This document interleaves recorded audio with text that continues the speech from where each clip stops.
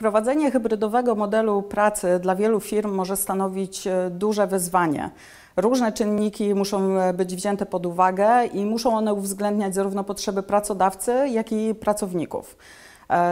E, Przeanalizowaliśmy szereg czynników w 21 e, miastach e, na całym świecie, uwzględniając właśnie te czynniki, które pod uwagę będzie brał pracodawca, jak i czynniki, które pod uwagę weźmie e, pracownik.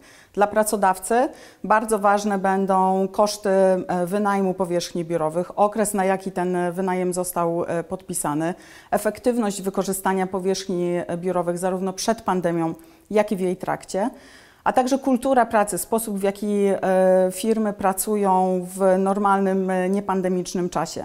Dla pracownika z kolei ważny będzie metraż mieszkania i możliwość jego zaaranżowania w taki sposób, żeby było e, odpowiednie miejsce do pracy. Będą kwestie związane z czasem dojazdu do pracy, jakością tego dojazdu, a także kwestie technologiczne, czyli dostęp do szerokopasmowego internetu.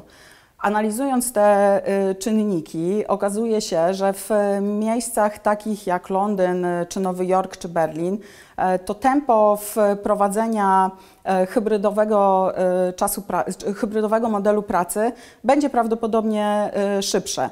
Tam już od kilku lat tak naprawdę funkcjonują różnego rodzaju elastyczne rozwiązania a stawki czynszu za wynajem powierzchni e, biurowych są wysokie.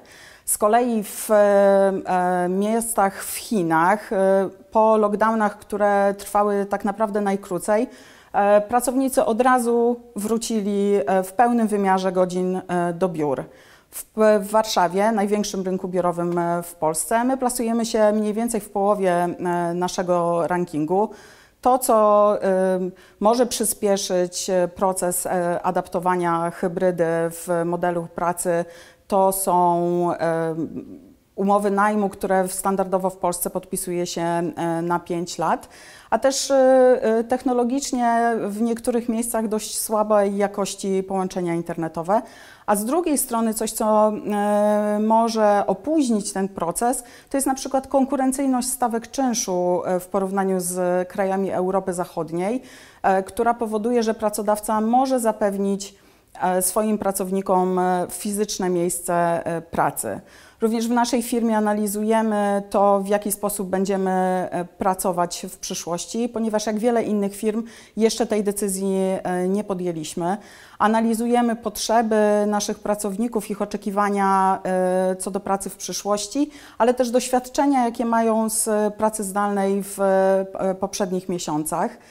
E, oczekujemy też na mm, spodziewane zmiany w kodeksie pracy, a dla innych firm tak naprawdę również ważne jest e, sprawdzenie tego, co oferuje teraz rynek nieruchomości, jakie możliwości e, stworzyła pandemia dla tego rynku. W, nie będzie jednego rozwiązania, które będzie pasowało dla wszystkich e, firm.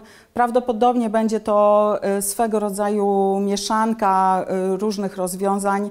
W większości firm spodziewamy się, że będzie ograniczenie liczby dni w tygodniu bądź w miesiącu, w których praca zdalna będzie możliwa.